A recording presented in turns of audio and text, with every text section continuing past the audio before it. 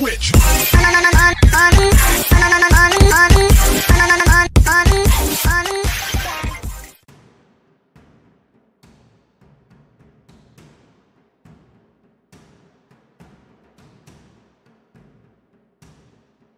The three-row crossover by Hyundai may be losing ground to comparable offerings from other automakers such as the Toyota Highlander and Honda Pilot, both of which have balloon in size to appeal to family buyers who are trending toward city buses.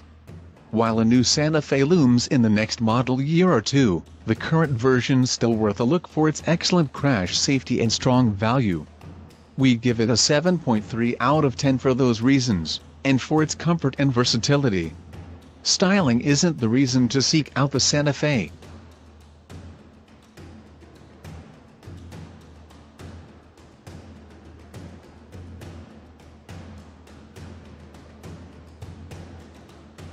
Styling isn't the reason to seek out the Santa Fe.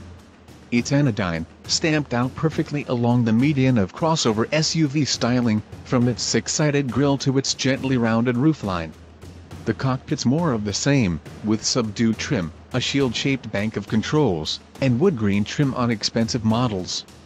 Performance isn't its strongest suit either. Gas mileage is middling, and so is acceleration from its V6.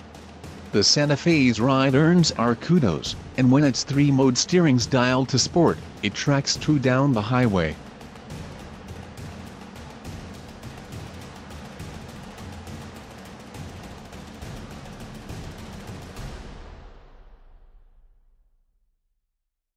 We're into the Santa Fe for its interior space.